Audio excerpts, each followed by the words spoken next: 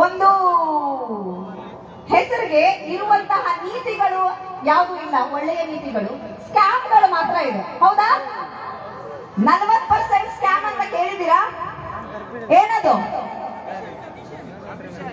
Commission. Government ಒಂದು ಒಬ್ರು ಕಾಂಟ್ರಾಕ್ಟರ್ಗೆ ನೂರು ರೂಪಾಯಿ ಕೆಲಸ ಕೊಟ್ರೆ ಅದ್ರಲ್ಲಿ ನಲವತ್ತು ರೂಪಾಯಿ ಮಿನಿಸ್ಟ್ರಿಂದ ಹಿಡಿದು ಪ್ರತಿ ಒಬ್ರು ಬಿಜೆಪಿ ಸರ್ಕಾರದಲ್ಲಿರೋರು ತಿಂತಾರಂತೆ. ಇನ್ನ ಅರವತ್ತು ರೂಪಾಯಲ್ಲಿ ಅವರು ಕೆಲಸ ಮಾಡ್ಬೇಕಂತೆ. ಅಂದ್ರೆ ಲಂಚ ಹೊಡೆಯುವಂತಹ ಸರ್ಕಾರ. ನಲವತ್ತು ಪರ್ಸೆಂಟ್ ಲಂಚ. ಇದನ್ನ ಕಾಂಗ್ರೆಸ್ ಪಕ್ಷ ಹೇಳ್ತಿಲ್ಲ, ನಾನ್ ಹೇಳ್ತಿಲ್ಲ. ಇದನ್ನ ಆ ಕಾಂಟ್ರಾಕ್ಟರ್ಗಳಿರ್ತಾರಲ್ಲ, ಅವರು ಅವರದೇ ಪಕ್ಷದಿಂದ ಪ್ರಧಾನಮಂತ್ರಿಗಳಾಗಿದ್ರಲ್ಲ, ನಮ್ಮ ದೇಶದ ಪ್ರಧಾನ ನರೇಂದ್ರ ಮೋದಿ ಅವರಿಗೆ ಲೆಟರ್ ಬರೆದಿದ್ದಾರೆ. ನಮಗ್ ಸಾಕಾಗೋಗಿದೆ ಈ ಕರ್ನಾಟಕ ಬಿಜೆಪಿ ಸರ್ಕಾರ. ನಲವತ್ತು ಪರ್ಸೆಂಟ್ ಕಮಿಷನ್ ತಗೋತಾರೆ, ಇನ್ನ ಅರವತ್ ರೂಪಾಯಿ ಹೇಗೆ ಕೆಲಸ ಮಾಡೋದಕ್ಕೆ ಸಾಧ್ಯ ಅಂತ. ಒಳ್ಳೆಯ ಒಂದು ಮೆಟೀರಿಯಲ್ಸ್ ಹಾಕಿ, ಗುಣಮಟ್ಟದ ವಸ್ತುವನ್ನ ಹಾಕಿ ಕೆಲಸ ಮಾಡೋದು ಸಾಧ್ಯನಾ? ಇಷ್ಟು ಮಟ್ಟಕ್ಕೆ ಇಷ್ಟು ದುಡ್ಡು ಲಂಚವಾಗಿ ಕೊಟ್ರೆ ಅವರು. ಸಾಧ್ಯ ಇದೆಯಾ? ಅಂದ್ರೆ ನಾವುಗಳು ಕಟ್ಟಿರುವಂತಹ ಟ್ಯಾಕ್ಸ್ ದುಡ್ಡನ್ನ ಸರ್ಕಾರಿ ಕಾರ್ಯಕ್ರಮಗಳಿಗೆ ಬಳಸ್ಕೊಳಕ್ಕೂ ಬಿಡ್ತಾ ಇಲ್ಲ ಅವರು. ಪೂರ್ತಿಯಾಗಿ. ಅದು ಸೈಡಲ್ಲಿ ಇಡೋಣ. ಅದು ಒಂದು ಸ್ಕ್ಯಾಮ ಇವತ್ತು ಕರ್ನಾಟಕದ ಜೀವ ನೀವೆಲ್ಲ ಹೇಳಿ, ನಿಮ್ಮ ಮನೆಗಳಲ್ಲಿ ಕೊರೋನಾ ಸಮಯದಿಂದ ಹಿಡಿದು ಕೆಲಸ ಕಳ್ಕೊಂಡಿರೋರಾಗ್ಬೋದು. ಇವತ್ತು ಡಿಗ್ರಿ ಓದಿ ಕೆಲಸ ಸಿಕ್ತಿರುವಂತಹ ಯುವ ಜನತೆ ಎಷ್ಟು ಜನದ ಮನೇಲಿದ್ದಾರೆ ಕೈ ಎತ್ತಿ ಕೈ ಎತ್ತಿ ಎಲ್ಲರ ಮನೇಲಿ ಇದಾರಲ್ವಾ ಕೆಲಸ ಇಲ್ದಿರಾ ಇವತ್ತು ಸರ್ಕಾರಿ ಕೆಲಸದಲ್ಲಿ ಖಾಲಿ ಇರುವಂತಹ ಕುರ್ಚಿಗಳು ಎರಡೂವರೆ ಲಕ್ಷ. ನಾಲ್ಕು ವರ್ಷ ಆಯ್ತು ಇವರು ಸರ್ಕಾರ ರಚಿಸಿ, ಒಂದು ಕೂಡ ಸರ್ಕಾರಿ ಕೆಲಸನ ಕೊಟ್ಟಿಲ್ಲ. Exam ಬರ್ದಿರುವಂತಹ P S I sub inspector police sub inspector exam ಅಲ್ಲಿ ಅಕ್ರಮ ನಡೆಸಿದ್ದಾರೆ. ಇದು ಗೊತ್ತಿದೆ ಅಲ್ವಾ? I P S ADGP level ಅವರನ್ನ ಅರೆಸ್ಟ್ ಮಾಡಿದ್ದಾರೆ. ಪೊಲೀಸ್ ಅವರೇ ಅರೆಸ್ಟ್ ಆಗಿದ್ದಾರೆ. ಇನ್ನ ಸರ್ಕಾರದಲ್ಲಿ ಯಾವ ಮಟ್ಟಕ್ಕೆ ಭ್ರಷ್ಟ ಇರ್ಬೋದು ಯೋಚನೆ ಮಾಡಿ. ಆ ಧೈರ್ಯ ಪೊಲೀಸ್ ಅವರು ಅದು ಎಡಿಜಿಪಿ ಮಾಡಕ್ಕಾಗತ್ತಾ? ಮಂತ್ರಿಗಳ ಒಂದು ಸಹಕಾರ ಇಲ್ದಿರಾ? ಯುವಕರಿಗೆ ಕೊಡಬೇಕಾಗಿರುವಂತಹ ಸಬ್ ಇನ್ಸ್ಪೆಕ್ಟರ್ ಎಕ್ಸಾಮ್ ಅಲ್ಲೂ ಭ್ರಷ್ಟಾಚಾರ ಮಾಡಿ ದುಡ್ಡು ಹೊಡೆದಿದ್ದಾರೆ. ಅಷ್ಟೇನಾ? ಪ್ರತಿ ಒಂದರಲ್ಲೂ ಭ್ರಷ್ಟಾಚಾರ ಭ್ರಷ್ಟಾಚಾರ. ಇವರು ಸರ್ಕಾರ ನಿರ್ಮಿಸಿರೋದು ಇವತ್ತಿನ ಬಿಜೆಪಿ ಸರ್ಕಾರ. ಕರ್ನಾಟಕದ ಜನತೆಗಾಗ್ಲಿ, ಮುಂದಿನ ಪೀಳಿಗೆಗಾಗ್ಲಿ ಒಳ್ಳೇದ್ ಮಾಡ್ಬೇಕು ಅಂತ ಅಲ್ಲ. ಅವರ ಒಂದು ಖಜಾನೆ ತುಂಬಿಸ್ಕೊಳ್ಳೋದು ಕಾಂಗ್ರೆಸ್ ಸರ್ಕಾರ, ಇವತ್ತು ಹಲವಾರು ಜನ ಇಲ್ಲಿ ಏನು ವೃದ್ಧಾಪ್ಯದ ಒಂದು ಪಿಂಚಣಿ ತಗೊಳ್ಳೋರಿದ್ದೀರಾ ಅಲ್ವಾ? ಅಲ್ಲಿಂದ ಹಿಡಿದು ಮಹಿಳೆಯರಿಗೆ, ವಿಧವೆಯರಿಗೆ ಪಿಂಚಣಿ ಕೊಡೋದ್ರಿಂದ ಹಿಡಿದು ಸ್ತ್ರೀ ಶಕ್ತಿ ಸಂಘಗಳನ್ನ ಮಾಡಿ ಮಹಿಳೆಯರ ಒಂದು ಆರ್ಥಿಕವಾದ ಸಬಲೀಕರಣ ಮಾಡೋದು, ಪ್ರತಿ ಒಂದು ಮಾಡಿರೋದು ಕಾಂಗ್ರೆಸ್ ಪಕ್ಷ. ಒಪ್ಕೋತೀರಾ? ಯುವಕರ ಕೈಗೆ, ಯುವತಿಯರ ಕೈಗೆ ವೋಟ್ ಮಾಡುವಂತಹ ಶಕ್ತಿ ಕೊಟ್ಟಿದ್ದು ಕೂಡ ರಾಜೀವ್ ಗಾಂಧಿಯವರ ಒಂದು ಸರ್ಕಾರ. ಹದಿನೆಂಟು ವರ್ಷಕ್ಕೆ ಮಾಡಿದ್ದು. ಅಂದ್ರೆ ನಮ್ಮ ಕೈಯಲ್ಲಿ ಸರ್ಕಾರ ರಚನೆ ಮಾಡುವಂತಹ ಶಕ್ತಿ ಕೊಟ್ಟರು ಇಲ್ದಿದ್ರೆ ಇವತ್ತು ಯುವಕರಿಗೋಸ್ಕರ ನೀತಿ ಮಾಡ್ತಿದ್ರ? ಇಲ್ಲ, ವೋಟ್ ಯಾರು ಹಾಕ್ತಾರೋ ಅವ್ರಿಗೆ ತಾನೇ. ಒಂದು ನೀತಿಗಳಾಗ್ಬೋದು, ಯಾವ ಪಕ್ಷ ಆದ್ರೆ ಹೌದಾ? ನಿಮ್ಗೆಲ್ಲ ಗೊತ್ತಿರೋ ಹಾಗೆ ಕಾಂಗ್ರೆಸ್ ಪಕ್ಷ ಇವಾಗ ನಾಲ್ಕು ಗ್ಯಾರಂಟಿಗಳನ್ನ ಅನೌನ್ಸ್ ಮಾಡಿದೆ. ಗೃಹಲಕ್ಷ್ಮಿ ಯೋಜನೆ. ಗೃಹಲಕ್ಷ್ಮಿ ಯೋಜನೆ ಅಂದ್ರೆ ಏನು? ಯಾರಾದ್ರೂ? ಕೇಳಿದ್ದೀರಾ? ಹಾ. ಮನೆಯ ಒಡತಿಗೆ ಅಥವಾ ಮನೆಯ ಯಜಮಾನಿ ಯಾರಿದ್ದಾರೆ ಮಹಿಳೆಯರು. ಅವರಿಗೆ ಪ್ರತಿ ತಿಂಗಳು ಎರಡು ಸಾವಿರ ರೂಪಾಯಿ ಅವರ ಅಕೌಂಟಿಗೆ. ಪ್ರತಿ ತಿಂಗಳು. ಯಾಕೆ ಹೆಂಗಸರ ಅಕೌಂಟ್ ಹಾಕ್ತಿದ್ದಾರೆ? ಯಾಕೆ ಗಂಡಸರ ಅಕೌಂಟ್ ಹಾಕ್ತಿಲ್ಲ? ಹೆಣ್ಣು ಮಕ್ಕಳಿಗೆ ಒಂದು ಘನತೆಯಿಂದ ಜೀವನ ಮಾಡುವಂತಹ ಶಕ್ತಿ ಕೊಡೋದು. ಯಾವ ರೀತಿ? ನಮ್ಮ ದೇಶದಲ್ಲಿ ತೊಂಬತ್ತು ಪರ್ಸೆಂಟ್ಗೂ ಹೆಚ್ಚು ಹೆಣ್ಮಕ್ಳು, ಅಂದ್ರೆ ನೂರಕ್ಕೆ ತೊಂಬತ್ತು ಹೆಣ್ಮಕ್ಳು ಅವರ ಆರೋಗ್ಯದ ಬಗ್ಗೆ ಆಗಲಿ ನಿರ್ಧಾರ ಮಾಡ್ಕೊಳ್ಳೋದಿಲ್ಲ. ಹೌದಾ? ಇಲ್ಲಿರೋರಿ ಹಲವಾರು ಜನ ನಿಮ್, ನಿಮಗೆ ಹೆಣ್ಣು ಮಕ್ಕಳು ಕೂತಿದ್ದೀರಿ. ನಿಮ್ಮ ಆರೋಗ್ಯದ ಬಗ್ಗೆ ಏನಾದರೂ ತೊಂದರೆ ಆದಾಗ ನೀವು ನಿಮ್ಮ ಮನೆಯವರ ಮೇಲೆ ಯಾರಾದರೂ ನಿಮ್ಮನ್ನ ಹಾಸ್ಪಿಟಲ್ ಕರ್ಕೊಂಡು ಹೋಗೋವರೆಗೂ ನೀವಾಗಿ ಹೋಗಕ್ಕಾಗಲ್ಲ, ಅಲ್ವಾ? ಈ ಎರಡು ಸಾವಿರ ರೂಪಾಯಿ ನಿಮ್ಮ ಅಕೌಂಟಿಗೆ ಬಂದ್ರೆ ನಿಮ್ಮ ಆರೋಗ್ಯದ ಚೆನ್ನಾಗಿ ನೋಡ್ಕೋತೀರಾ ಅಲ್ವಾ? ನಾನು ನನ್ನ ಎನ್ ಜಿ ಇಂದ ಕೆಲಸ ಮಾಡಿದಾಗ ನೋಡಿದೀನಿ, ಎಷ್ಟೋ ಹೆಣ್ಮಕ್ಳಿಗೆ ಋತುಸ್ರಾವದ ಸಮಯದಲ್ಲಿ ಸ್ಯಾನಿಟರಿ ನಾಪ್ಕಿನ್ ತಗೊಳ್ಳುವಂತಹ ಒಂದು ಶಕ್ತಿ ಕೂಡ ಇಲ್ಲ. ಊಟ ಎಷ್ಟು ಮುಖ್ಯನೋ ಅದು ಕೂಡ ಅಷ್ಟೇ ಮುಖ್ಯ.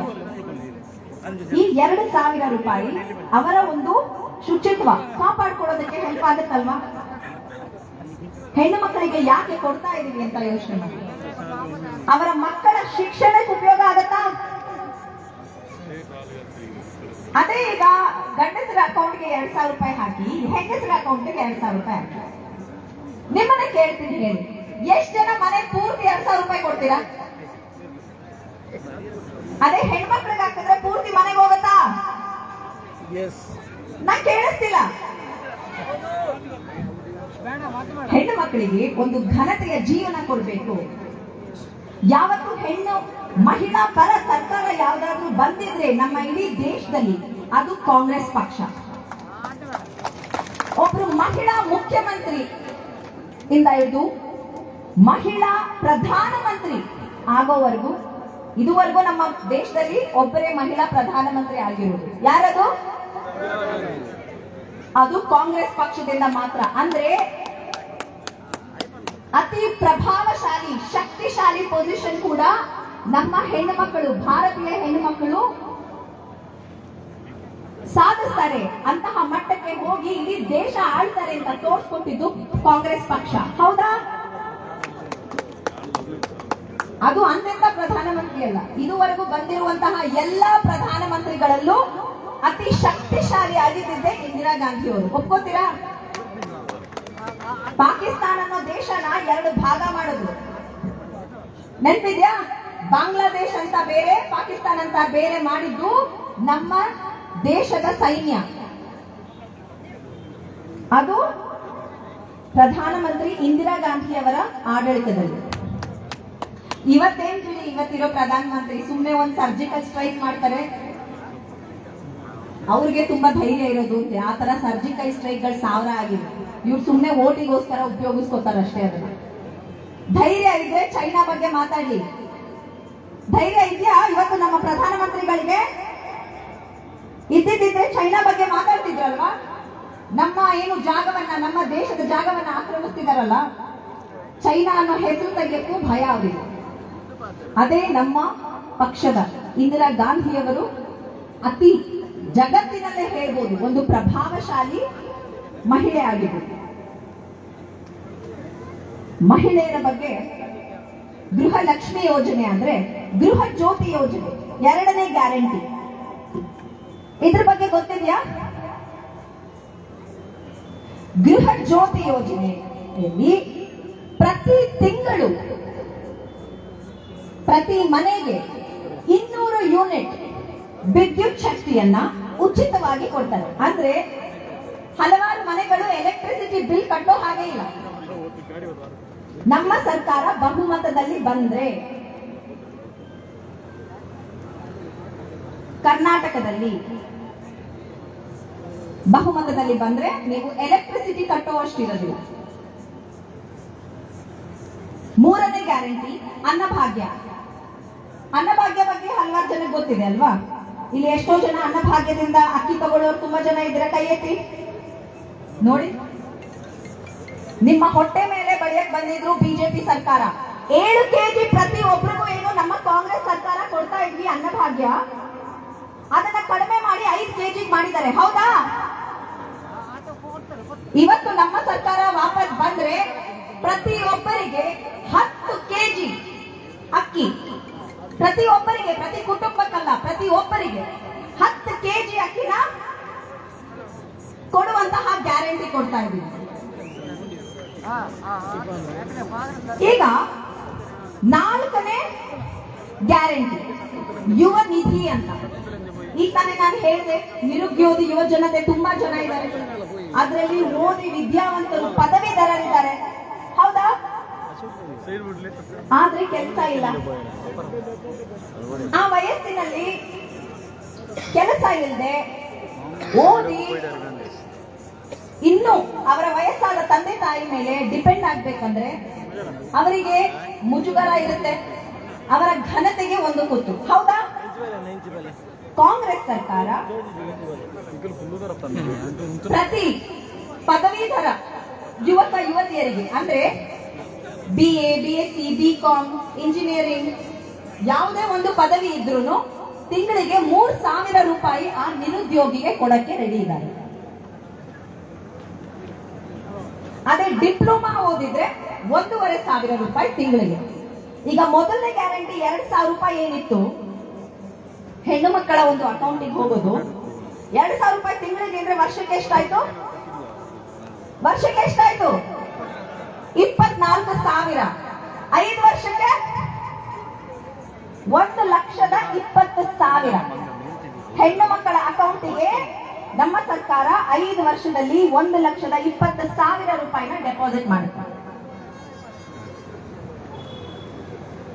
ಅಂದ್ರೆ ನೀವು ಯೋಚನೆ ಮಾಡಬೇಕಾಗಿರೋದು ನಿಮ್ಮ ಹಕ್ಕು ಅಂತ ನಿಮಗೆ ನಿಮ್ಮ ಒಂದು ಜೀವನ ಚೆನ್ನಾಗಿರೋಕೆ ಕೊಡ್ತಿರುವಂತಹ ಈ ಗೃಹಲಕ್ಷ್ಮಿ ಯೋಜನೆ ಬಗ್ಗೆ ಯೋಚನೆ ಮಾಡಿ ಕಾಂಗ್ರೆಸ್ಸಿಗೆ ವೋಟ್ ಹಾಕ್ತೀರಾ?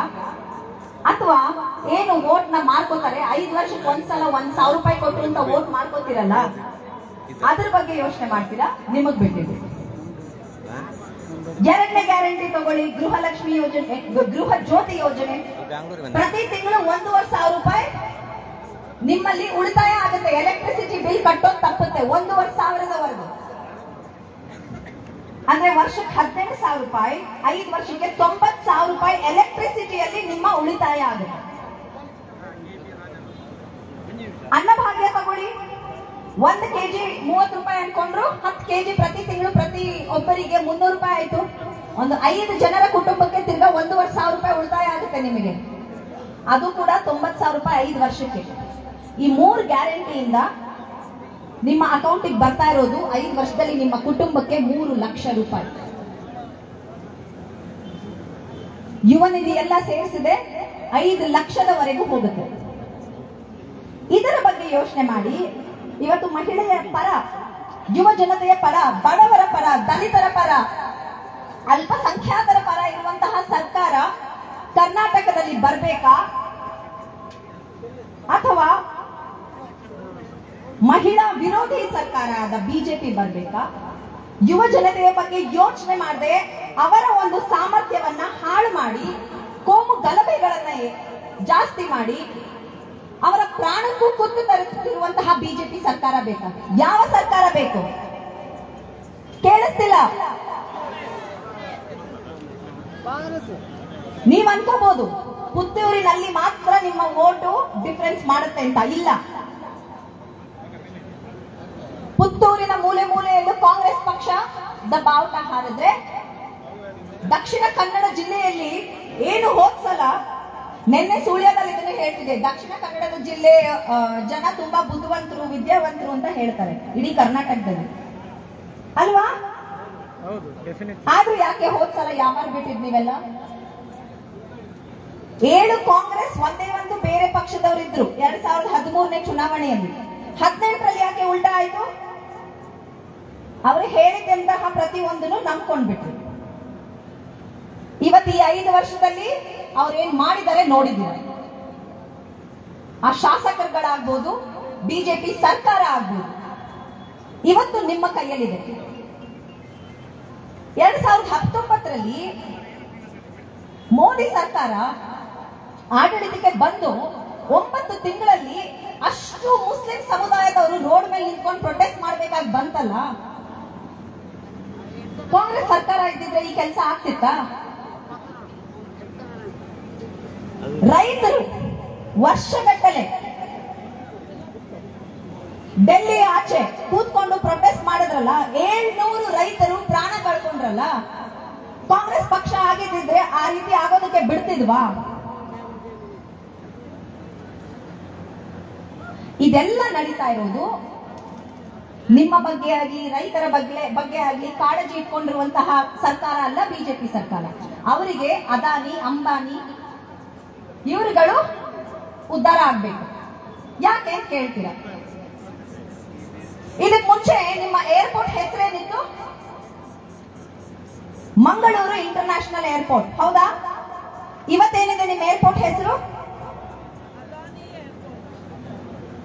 ಇವತ್ತೇನಿದೆ ನಿಮ್ಮ ಏರ್ಪೋರ್ಟ್ ಹೆಸರು? ಕೇಳಿಸ್ತಿಲ್ಲ? ಅದಾನಿ ಅಂಬಾನಿ. ಅದಾನಿ ಏನು? ಮಂಗಳೂರವರ?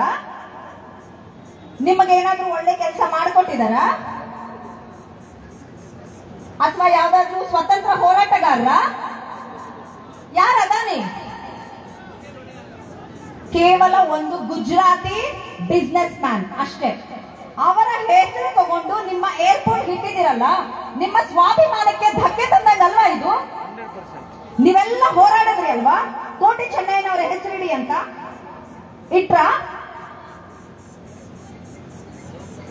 ಈ ನಿಮ್ಮ ಸ್ವಾಭಿಮಾನಕ್ಕೆ ಅವ್ರೇನ್ ಧಕ್ಕೆ ತಂದಿದಾರಲ್ಲ? ಇವತ್ತು ನಿಮಗೆ ಆ ಒಂದು ಚಾನ್ಸ್ ಇದೆ ಬುದ್ಧಿ ಕಲಿಸೋದಕ್ಕೆ. ಸ್ವಾಭಿಮಾನದಿಂದ ನೀವು ಈ ಸಲ ವೋಟ್ ಹಾಕ್ಬೇಕು. ವಿಜಯ ಬ್ಯಾಂಕ್. ನಿಮ್ಮದೇ ಜಿಲ್ಲೆಯಲ್ಲಿ ಸ್ಟಾರ್ಟ್ ಆಗಿದೆ, ಹೌದಾ? ಗೊತ್ತಿದೆಯಾ ಇದು? ವಿಜಯ ಬ್ಯಾಂಕ್. ಇವತ್ತೇನಾಗಿದೆ ವಿಜಯ ಬ್ಯಾಂಕ್ಗೆ? ಬರೋಣ ಅನ್ನೋ ಗುಜರಾತಿ ಬ್ಯಾಂಕ್ ಬಂದು ನುಂಗ್ ಹಾಕಿದೆ. ಅಂದ್ರೆ ದಕ್ಷಿಣ ಕನ್ನಡ ಜಿಲ್ಲೆಯ ಜನತೆಯ ಒಂದು ಗುರುತನ್ನೇ ಅಳಿಸ್ತಾ ಇದ್ದಾರೆ. ಬಿಜೆಪಿ ಸರ್ಕಾರದವರು. ಒಪ್ಕೋತೀರಾ? ಕೇಳಿಸ್ತಿಲ್ಲ? ಇದಕ್ಕೆ ಬುದ್ಧಿ ಕಲಿಸ್ಬೇಕಾ ಬೇಡವಾ?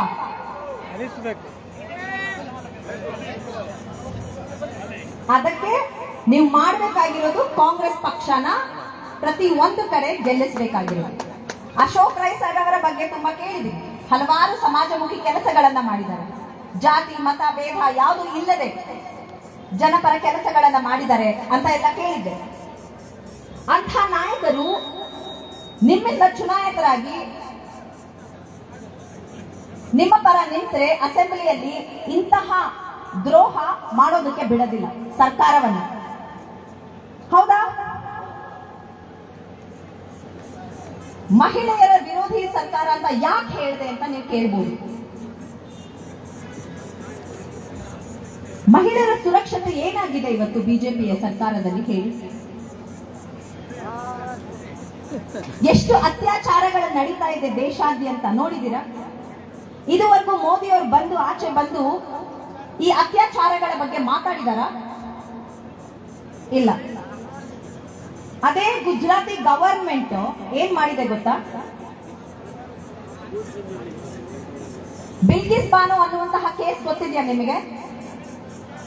ಗೋದ್ರ ಸಮಯದಲ್ಲಿ ಒಂದು ಹೆಣ್ಣು ಮಗಳ ಮೇಲೆ ಗ್ಯಾಂಗ್ ರೇಪ್ ನಡೆಯುತ್ತೆ. ಆ ಹೆಣ್ಣು ಮುಂದೆ ಅವರ ಏನು ಮನೆ, ಅವರ ತಂದೆ, ತಮ್ಮ ಎಲ್ಲರನ್ನು ಕೊಂದು ಹಾಕ್ತಾರೆ. ಆ ಹುಡುಗಿ ಮೇಲೆ ರೇಪ್ ಮಾಡಿರ್ತಾರೆ. ಹನ್ನೊಂದು ಜನನೂ ಏನು ಅವರನ್ನ ಜೈಲಿಂದ ಬಿಡುಗಡೆ ಮಾಡಿದ್ದಾರೆ ಗುಜರಾತ್ ಗವರ್ಮೆಂಟ್ ಇಲ್ಲಿ ಹೆಣ್ಣು ಮಕ್ಕಳ ಒಂದು ತೊಂದರೆ ಬಂದಾಗ ನೋಡಿ, ಯಾವುದೇ ಧರ್ಮ, ಜಾತಿ ಯಾವುದು ಬರೋದಿಲ್ಲ. ಮನುಷ್ಯತ್ವ ಅಷ್ಟೇ. ಯಾವ ಹೆಣ್ಣಿನ ಮೇಲೆ ಅತ್ಯಾಚಾರ ಆದ್ರೂ ಅದರ ವಿರುದ್ಧ ನಿಂತ್ಕೊಂಡ್ರೆ ನಿಮ್ಮ ಮನೆ ಹೆಣ್ಮಕ್ಳು ಕೂಡ ಸುರಕ್ಷಿತವಾಗಿರೋದು. ಹೌದಾ? ಉತ್ತರ ಪ್ರದೇಶದಲ್ಲಿ ಬಿಜೆಪಿಯ ಎಂ ಎಲ್ ಎ ಒಂದು ರೇಪ್ ಮಾಡಿರ್ತಾರೆ. ಗೊತ್ತಿದೆಯಾ ಇದು? ಬಿಜೆಪಿಯ ಎಂ ಎಲ್ ರೇಪ್ ಮಾಡಿದ್ದಾರೆ ಕಳೆದ ಒಂದ್ ಮೂರು ವರ್ಷದ ಹಿಂದೆ. ಅವಾಗ ಆದ್ರೂ ಆ ಪಕ್ಷ ಎಂ ಎಲ್ ಎನ ಕಿತ್ತಾಕಿರೋದಿಲ್ಲ, ಪಕ್ಷದಿಂದ ಉಚ್ಚಾಟನೆ ಮಾಡೋದಿಲ್ಲ. ಸುಪ್ರೀಂ ಕೋರ್ಟ್ ಆದೇಶ ಕೊಡುತ್ತೆ. ತಲೆ ಕೆಟ್ಟಿದ್ಯಾ ನಿಮ್ಗೆ? ಇನ್ನ ಆ ಮನುಷ್ಯ ನಿಮ್ಮ ಪಕ್ಷದಲ್ಲಿದ್ದಾರೆ, ಕಿತ್ತು ಆಚೆ ಹಾಕಿ ಅಂತ. ಅಲ್ಲಿವರೆಗೂ ಹಾಕಲ್ಲ ಬಿಜೆಪಿಯವರು. ಅವರಿಗೆ ಹೆಣ್ಣು ಮಕ್ಕಳ ಬಗ್ಗೆ ಆಗ್ಲಿ, ಅವರ ಬಗ್ಗೆ ಕಾಳಜಿ ಆಗ್ಲಿ ಇಲ್ಲ. ಅವ್ರಿಗೆ ಬೇಕಾಗಿರೋದು ಅಧಿಕಾರ ಒಂದ್ ಎಂ ಎಲ್ ಎ ಹೋಗ್ಬಿಟ್ರೆ ಕಷ್ಟ ಅಲ್ಲ. ಅದು ಕಿತ್ ಹಾಕಿರ್ಲಿಲ್ಲ ಒಬ್ಬ ರೇಪಿಸ್ಟ್ ಇಂತಹ ಸರ್ಕಾರ ಬೇಕಾ? ಅಥವಾ ನಿರ್ಭಯ ಕೇಸ್ ಆದಾಗ ಕಾಂಗ್ರೆಸ್ ಸರ್- ಸರ್ಕಾರ ಆಡಳಿತದಲ್ಲಿತ್ತು.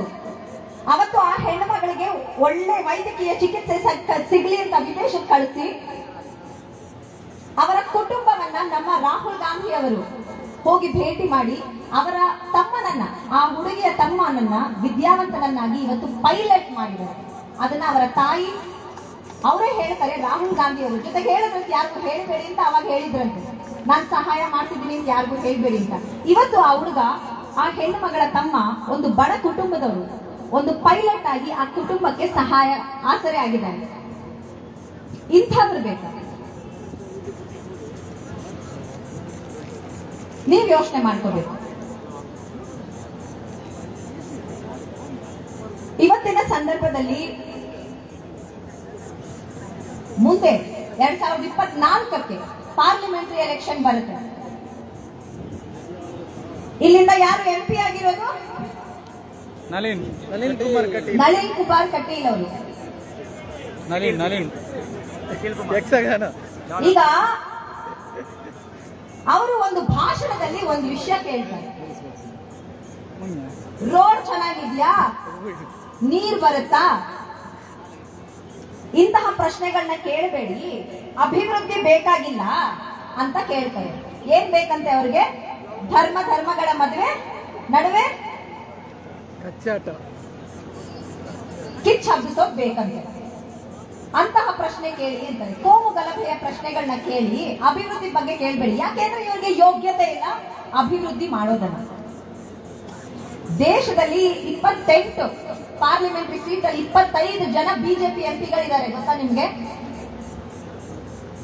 ಆದ್ರೂ ನಮ್ಮ ರಾಜ್ಯದ ಸ್ಥಿತಿ, ನಮ್ಮ ಒಂದು ರಾಜ್ಯದಿಂದ ಇಪ್ಪತ್ತೆಂಟು ಎಂಪಿಗಳಲ್ಲಿ ಇಪ್ಪತ್ತೈದು ಜನ ಬಿಜೆಪಿಯವರಿದ್ದಾರೆ ಆದ್ರೆ ಯಾರಾದ್ರೂ ಒಬ್ರು ನರೇಂದ್ರ ಮೋದಿ ಅವರ ಮುಂದೆ ನಿಂತ್ಕೊಂಡು ನಮ್ಮ ರಾಜ್ಯಕ್ಕೆ ಬರಬೇಕಾದಂತಹ ಕಾಂಪನ್ಸೇಷನ್ ಕೊಡಿ ಅಂತ ಕೇಳೋ ಧೈರ್ಯ ಇಲ್ಲ. ಹದಿಮೂರು ಸಾವಿರಕ್ಕೂ ಹೆಚ್ಚು ಕೋಟಿ ಕಾಂಪನ್ಸೇಷನ್ ಇವತ್ತು ನಮ್ಮ ರಾಜ್ಯಕ್ಕೆ ಜಿ ಎಸ್ ಟಿ ಮೂಲಕ ಬರಬೇಕು. ಬಂದಿಲ್ಲ. ಇವ್ರಿಗೆಲ್ಲ ಧೈರ್ಯ ಇಲ್ಲ. ಯಾಕೆ? ಇವರೆಲ್ಲ ಗೆದ್ದಿದ್ದು ತಮ್ಮ ಸಾಮರ್ಥ್ಯದಿಂದ ಅಲ್ಲ. ನರೇಂದ್ರ ಮೋದಿ ಅವರ ಹೆಸರು ಹೇಳ್ಕೊಂಡು. ಈ ಸಲ ಅಸೆಂಬ್ಲಿಯಲ್ಲಿ ಹೆಚ್ಚು ಕಾಂಗ್ರೆಸ್ ಸೀಟ್ಗಳು ಬಂದ್ರೆ ಎಂ ಎಲ್ ಎ ಸೀಟ್ಗಳು ಮುಂದಿನ ವರ್ಷ ಪಾರ್ಲಿಮೆಂಟ್ ಅಲ್ಲೂ ಕೂಡ ಹೆಚ್ಚು ಸೀಟ್ಗಳು ರಾಜ್ಯಾದ್ಯಂತ ಬರುವಂತಹ ಒಂದು ಅವಕಾಶ ಇದೆ.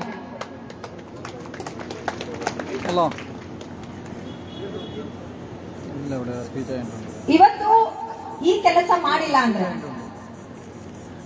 ಅರ್ಥ ಅರ್ಧಕ್ಕೂ ಹೆಚ್ಚು ಆರ್ಥಿಕ ಸ್ಥಿತಿ ಏನು ಹಾಳಾಗಿದೆ. ಜನಗಳಲ್ಲಿ ಇನ್ನ ಕೆಳಮಟ್ಟಕ್ಕೆ ಹೋಗುತ್ತೆ ಆರ್ಥಿಕ ಸ್ಥಿತಿ. ನೋಡಿ ಪ್ರತಿ ಒಬ್ಬರಿಗೂ ಯಾವ ಜಾತಿ ಧರ್ಮ ಅದು ಬೇಕಾಗಿಲ್ಲ. ಬೇಕಾಗಿರೋದು ಮೊದಲು ಊಟ. ನಿಮ್ಮ ಮಕ್ಕಳಿಗೆ ಶಿಕ್ಷಣ. ಇರೋದಕ್ಕೆ ಒಂದು ಸೂರು. ಮೊದಲು ಬೇಕಾಗಿರೋದು. ಆಮೇಲೆ ಬೇರೆ ಎಲ್ಲ ಬರುತ್ತೆ. ಒಂದು ಕತೆ ಇದೆ. ಅದನ್ನ ನಿಮ್ಗೆ ಹೇಳ್ತೀನಿ ಮೊದಲು ಒಂದು ಕುಟುಂಬ ಇತ್ತಂತೆ. ಬಹಳ ಏನು ಒಗ್ಗಟ್ಟಿನಿಂದ ಕಷ್ಟಪಟ್ಟು ದುಡಿಯುವಂತ ಕುಟುಂಬ. ಒಂದು ಕಳ್ಳರ ಗುಂಪು ಇವರ ಮನೆ ನುಗ್ಗಿ ದೋಚಬೇಕು ಅಂತ ಅನ್ಕೋತಾರಂತೆ. ಬಟ್ ಇವರೆಲ್ಲ ತುಂಬಾ ಬುದ್ಧಿವಂತರಲ್ಲ, ಎಚ್ಚರವಾಗಿರ್ತಾರಲ್ಲ, ಹೇಗೆ ಇವ್ರ ಮನೆ ಕಳ್ತನ ಮಾಡೋದು ಅಂತ ಯೋಚನೆ ಮಾಡ್ತಾರೆ. ಆ ಕಳ್ಳರ ಗುಂಪಲ್ಲಿ ಡಿಸೈಡ್ ಮಾಡ್ಕೊಂಡು ಹೋಗ್ತಾರೆ. ಆ ಮನೆಯಲ್ಲಿರುವಂತಹ ಗಂಟೆ ಇದೆಯಲ್ಲ, ಗಂಟೆ, ಅದನ್ನ ತಗೊಂಡು ಒಬ್ಬ ಆ ಗಂಟೆ ಬಾರಿಸ್ಕೊಂಡು ಒಂದ್ ಕಡೆ ಓಡೋಗ್ತಾನಂತೆ ಮಲಗಿದ್ದವರೆಲ್ಲ ಮನೆ ಜನ ಎದ್ದು ಆ ಗಂಟೆ ಹಿಂದೆ ಅವನ್ ಕಳ್ಳ ಅಂತ ಓಡ್ತಾರೆ ಇನ್ ಮಿಕ್ಕವ್ರಿದ್ರಲ್ಲ ಬಂದು ಮನೆ ಪೂರ್ತಿ ದೋಚ್ಕೊಂಡು ಹೊಟ್ಟೋಗ್ತಾರೆ ಗಂಟೆ ಕಡೆ ತಾನೇ ಹೋಗ್ತಾರೆ, ಸದ್ದಾಯ್ತು ಅಂತ. ರಾತ್ರಿ ಯಾರೋ ಕಳ್ಳ ನುಗ್ಗಿದಾನೆ ಅಂತ. ಮಿಕ್ಕವರೆಲ್ಲ ಮನೆ ದೋಚ್ಕೊಂಡು ಹೊಟ್ಟೋಗ್ತಾರೆ ಈ ಕಥೆ ಯಾಕೆ ನಿಮ್ಗೆ ಹೇಳ್ತಾ ಇದ್ದೀನಿ ಗೊತ್ತಾ? ಈ ಕೋಮು ಗಲಭೆಗಳನ್ನ ಮಾಡಿ ಧರ್ಮದ ಹೆಸರಲ್ಲಿ, ಜಾತಿಯ ಹೆಸರಲ್ಲಿ ವಿಷಯಗಳನ್ನ ಮಂಡಿಸ್ತಾ ಇರೋದವರು, ನೀವು ಅಭಿವೃದ್ಧಿಯ ಒಂದು ಕೆಲಸದ ಬಗ್ಗೆ ಪ್ರಶ್ನೆ ಕೇಳಬಾರ್ದು. ಅವ್ರು ಮಾಡ್ತಿರುವಂತಹ ಭ್ರಷ್ಟಾಚಾರದ ಬಗ್ಗೆ ಪ್ರಶ್ನೆ ಕೇಳಬಾರ್ದು. ಅವರಿಗೆ ನಮ್ಮ ರಾಜ್ಯವನ್ನ ದೋಚುವಂತಹ ಒಂದು ಸುಲಭ ದಾರಿ ಕಾಣಬೇಕು ಅಂತ. ಇದಕ್ಕೆ ನಾವು ಸಹಾಯ ಮಾಡಬಾರ್ದು ಅಂದ್ರೆ ಕಾಂಗ್ರೆಸ್ ಪಕ್ಷಕ್ಕೆ ನಿಮ್ಮೆಲ್ಲರ ಮತ ಬೀಳೋದಷ್ಟೇ ಅಲ್ಲ, ನಿಮ್ಮ ಜೊತೆಯವರು, ನಿಮ್ಮ ಸಂಬಂಧಿಕರು ಪ್ರತಿಯೊಬ್ಬರನ್ನು ಚೇಂಜ್ ಮಾಡೋದು ನಿಮ್ಮ ಜವಾಬ್ದಾರಿ. ಬಹುಮತದಲ್ಲಿ ಸುಮ್ಮನೆ ಈಗ ನೋಡಿ, ಕಡಿಮೆ ಅಂತರದಿಂದ ಗೆಲ್ಲಿಸೋದಲ್ಲ ಅಶೋಕ್ ರೈ ಸರ್ ಅವರನ್ನ. ಬಹುಮತದಲ್ಲಿ ಗೆಲ್ಲಿಸಿದಾಗ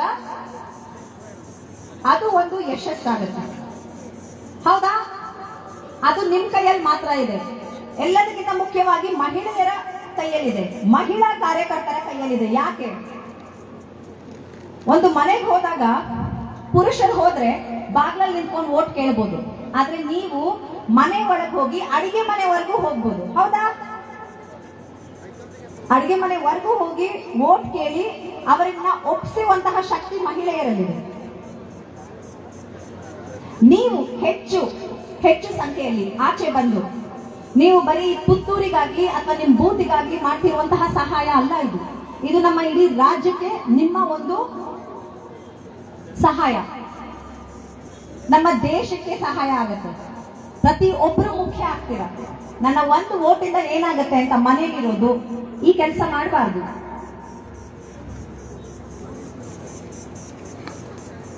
ಜಾನ್ಸಿ ರಾಣಿ ಕಿತ್ತೂರು ಚೆನ್ನಮ್ಮ ರಾಣಿ ಹಬ್ಬಕ್ಕ ಇಂಥವ್ರ ತರ ಅಲ್ಲ ನಾವು ಹಂಗೆಲ್ಲ ಅನ್ಕೊಳ್ಳೋ ಅವಶ್ಯಕತೆ ಇಲ್ಲ. ಅವ್ರ ಕೈ ಕತ್ತಿ ಇದ್ರೆ ನಿಮ್ ಕೈಯಲ್ಲಿ ಓಟ್ ಇದೆ.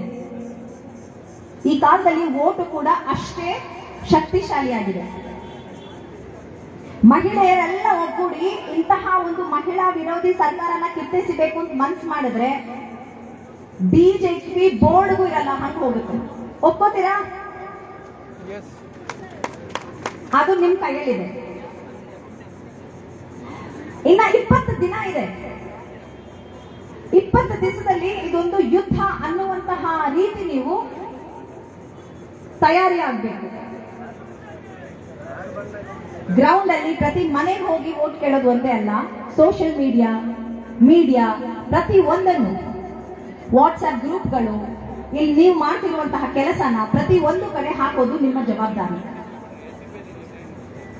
ಆಗ ಒಬ್ರಲ್ಲ ನೂರು ಜನನ್ನ, ಸಾವಿರಾರು ಜನನ್ನ ಒಟ್ಟಿಗೆ ನೀವು ಮನಸ್ಸು ಬದಲಾಯಿಸಬಹುದು ಈಗ ನಾನ್ ನಿಮಗೆ ಇಲ್ಲಿ ಏನ್ ಹೇಳಿದೆ ಇಲ್ಲಿರುವಂತಹ ಒಂದು ಸಾವಿರಾರು ಜನ ಏನು ಕೇಳಿಸ್ಕೊತಿದ್ದೀರಿ ಇದನ್ನ ನೀವು ಹೋಗಿ ಹತ್ತತ್ತು ಜನಕ್ಕೆ ಹೇಳಿದ್ರೆ ಸಾಕು. ಯಾವ್ದು ನಿಜ ಯಾವ್ದು ಬಿಜೆಪಿಯವ್ರು ಹೆಂಗೆ ಅಂದ್ರೆ ಸುಳ್ಳನ್ನೇ ಹರಡ್ತಾರೆ. ಅದನ್ನ ಜನ ನಿಜ ಅಂತ ತಿಳ್ಕೊತಿದ್ದಾರೆ. ನಾವು ಸತ್ಯನ ಕೂಡ ಹೇಳೋದಕ್ಕೆ ಯಾಕೆ ಹಿಂಜರಿಬೇಕು?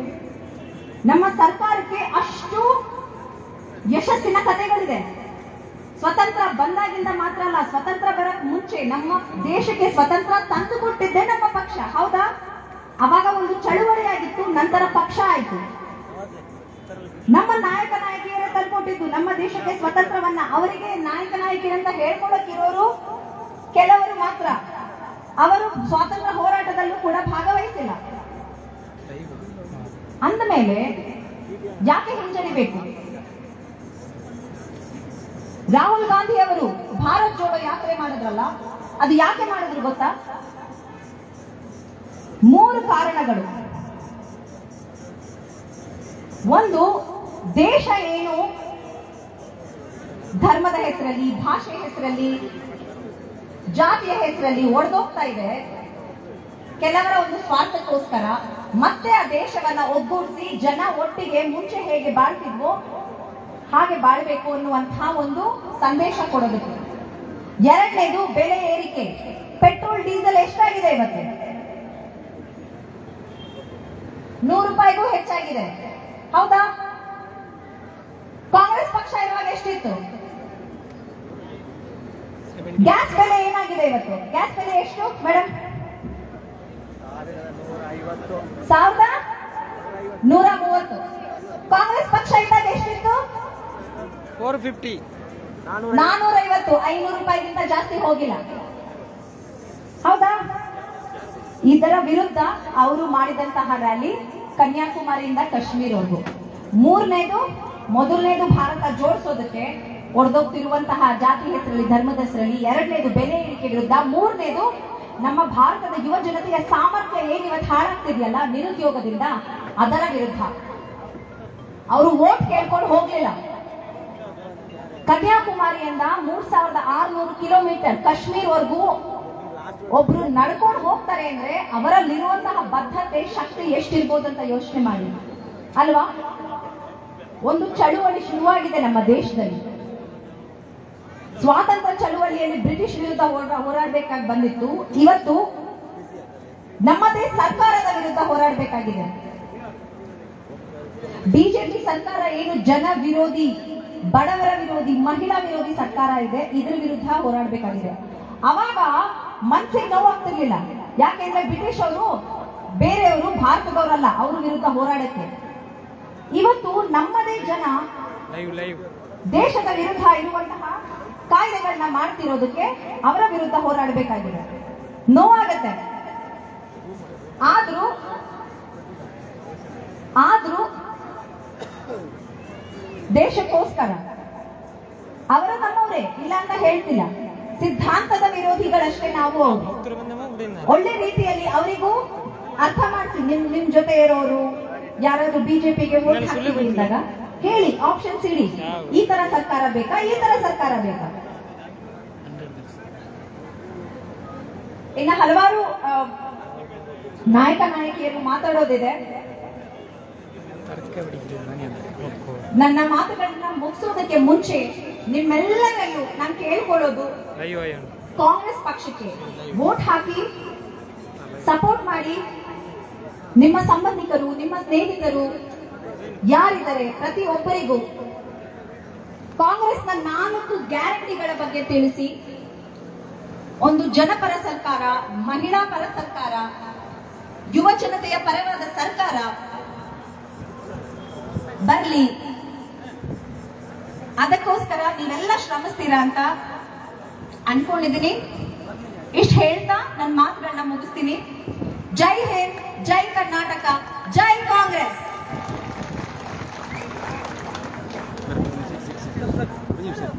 ಸರ್.